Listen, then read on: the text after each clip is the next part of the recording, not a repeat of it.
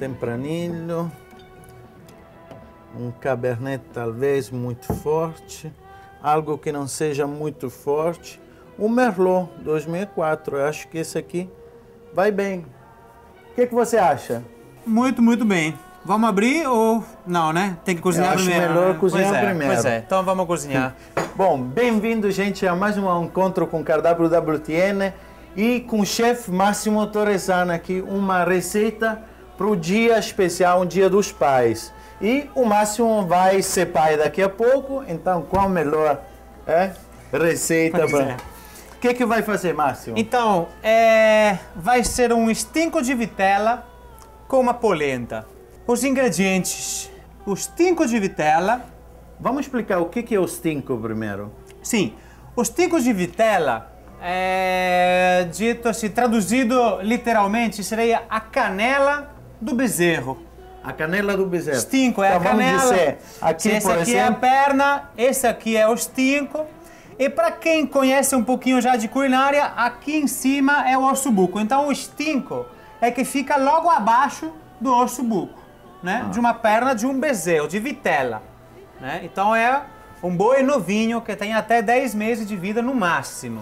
E vamos dizer também que a, a carne, por exemplo, por ser eh, essa parte perto do osso, contém muita... Muito colágem. Muito colágem. Pouca gordura e muito colágem. Muito é tecido conectivo, é muito Isso bom. Eu gostoso da, dessa Porque peça. na boca ele parece gordura, então te dá aquele gostinho Aquela maravilhoso, sensação. mas você pode comer tranquilo porque não é gordura. É tecido conectivo, não vai engordar não. Aliás, vai fazer muito bem para todo mundo. Que que Além do temos nosso mais? stinco, temos para ele um fundo de cenoura, cebola e aipo já cortadinhos, azeite, o sal, um pouco de ervas mistas, já picadinhas, vinho branco seco, sempre seco para se cozinhar, para a polenta. Aqui, Bom, a polenta vai ser o acompanhamento. a mas- polenta, claro, a polenta Tá. vai ser o acompanhamento, O acompanhamento, do stinco. ótimo. Então a polenta aqui tem uns flocos de milhos pré-cozidos. Aqui grosso. temos um pouco de sal grosso que eu vou usar para salgar a água da polenta, o caldo um pouquinho mais para salgar a polenta. E um pouco de manteiga e um pouco de parmesão já ralado, sempre para a polenta. E o caldo de galinha que vai servir para a nossa polentinha. Máximo, vamos começar a preparação Vamos. da receita. Vamos sim. Ah, qual, qual vai ser o primeiro Então, passo? o primeiro passo é dar uma ferventada no nosso stinco. Isso vai ajudar a deixar a carne um pouco mais macia, né? Uhum. É, eu acho sempre melhor dar uma ferventada quando é uma peça de carne muito grande para não porque ela no forno ficaria muito ressecada, é? então assim ela fica mais macia. Então, um pouco de sal na água, sempre sal grosso, eu prefiro ele, é mais saboroso que o fino. E agora, Eu chefe? vou colocar também um pouquinho de alecrim dentro da água para Uma dar um água gostinho. perfumada, então. Me passa os tinco. Cinco. Quantos? Obrigado. Só dois, um para mim e um para você. Só. Só. Quer mais um para alguém? Não. Você vai comer dois, não vai? Eu vou comer dois. Vamos botar mais go- um, porque gordo depois senão vamos é brigar e tal. Então tá certo, são três. Perfeito. Agora a gente vai deixar eles ferverem durante pelo menos 25, 30 minutos. Também não pode ser mais que isso, porque senão a carne começa a desmanchar muito e não vamos mais encontrar nada, tá? 25, 30 minutos tá suficiente. Bom, então está fervendo o nosso stinco e agora vamos já preparando o fundo para ele. Numa frigideira, Numa frigideira, azeite. a gente coloca azeite. Bem. E agora aqui, o nosso fundo, aqui temos a nossa cenoura, cebola e aipo. Cortado grosso, só, é importante que só esteja bem lavado. Hum. Bom, aqui já está bastante refogado, Uhum. certo? Já se passaram os 25 minutos para o nosso stinco. E agora eu vou desligar o fogo aqui. Vamos pegar os stincos. Olha que lindo. Olha o cheiro, já está cheirando assim. Ótimo. Sim, a gente vai colocá-los em pé, né?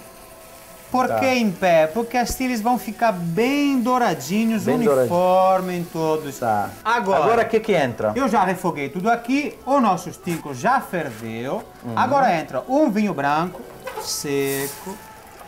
Vamos colocar um pouquinho dessa água então, que você gostou muito só aqui. Vamos. Por que juntar mais um pouquinho de água? O forno vai ter que estar muito quente, porque eu preciso dourar bem eles. Sempre coloque no máximo de um forno doméstico, no máximo da temperatura que ele pode chegar. Ele deve chegar no máximo a 200 graus. Então juntamos um pouco de água para evitar que seque muito no fundo e que queime também o fundo da, da frigideira. Eu vou colocar agora um pouquinho das nossas ervas, Em cima do cinco e um um pouquinho pouco em cima, um pouco no fundo. no fundo.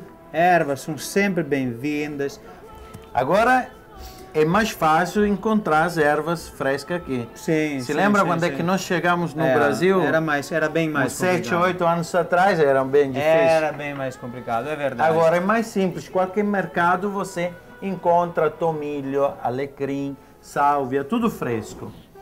Mais um pouquinho de sal, só uma pitadinha de sal, agora pra sim, só temperar. em cima da carne. Tá, ótimo. Certo.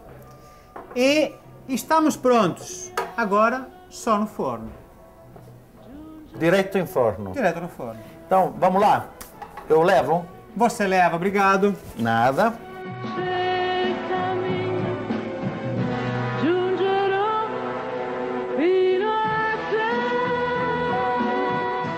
Enquanto o nosso stinco tá lá no forno, Dourando. vamos começar a fazer a nossa polenta, que já já vai estar pronto. Sal Então, grosso e um pouquinho de caldo de frango, caldo de frango. tá? Eu não coloco sal no caldo de frango, então vou colocar um pouco de sal grosso. Agora, então, vamos dizer que é bom finalizar, eh, salgar só no final, na hora Sim. que você vai utilizar. Sim. Bom, o sal, um pouquinho de manteiga, Manteiga com ou sem sal? sempre sem sal. Sempre sem sal. Nunca uso manteiga com sal pra nada. Só de manhã pra passar no pão, manteiga Sim. com sal. Ótimo. Vamos Agora, lá. pera aí, vamos deixar derreter um pouco a manteiga. Vamos lá? Vamos. Então você me coloca ele fazendo chover, eu vou Chuvinha. mexendo. Agora, Pode, pode ir. vamos explicar por que a gente faz essa chuvinha? Para não dar aquele carocinho tão simpático que você se encontra no final. Porque os grumos não cozinham, nunca cozinham. Viram Não. aquelas pedrinhas, Vira uma pedrinha. uma pedrinha. Tem que ir bem devagar com isso por dois motivos. Um, pode dar carocinhos e não é legal. Dois, ela precisa cozinhar. A farinha de milho precisa cozinhar. Então, espera um pouquinho, deixa ela ferver, porque ela, ela vai engrossando. Vai engrossar, Contém né? amido, ela vai engrossando. Bruno, acho que tá legal, hein? Pode Legal? parar, sim. Até ferver mais um pouco aqui. Completa aquela colher. É? Sim, certinha, maravilhosa. Tá bonito. Tá ótima. E aqui tá a nossa polentinha bem mole. Gente, prefiram sempre uma polenta mais mole ou uma polenta dura, porque se for mole, a gente tem como consertar isso muito fácil. Seria só colocar um pouquinho mais de farinha, né? Olha, essa consistência pra mim tá ideal. Oh, oh, oh, oh. Tá Vai, quente vai, vai, pra vai, vai. caramba. Prontinho. E aí, tá douradinho assim, tá bom? Tá ótimo, tá lindo. Vamos já Bom. empratar. Então, a nossa boa polentinha. Olha que linda. Polenta. Vai de polenta. Agora vamos colocá-los aqui. Olha que delícia. Um, dois e três. Vamos dar uma enfeitadinha, um pouco do molinho que se criou aqui no fundo da panela. Último toquezinho, umas ervinhas aqui. Um e tá prontinho. Bruno, bom apetito per noi. E vamos comer, né? Vamos comer. E vamos beber o quê? Pô, O aquele nosso vinho maravilhoso. Merlot. Maravilhoso. Aqui. Sabe a- aquele negócio que eu falei? Para cozinhar, vinho branco. Mas para acompanhar, pela Um estrutura do prato, um vinho tinto, prato um bem consistente. Então, esse aqui é o prato de Feliz Dias dos Pais. Feliz Dia dos Pais. Saluta. Salute. Saluta, amigo.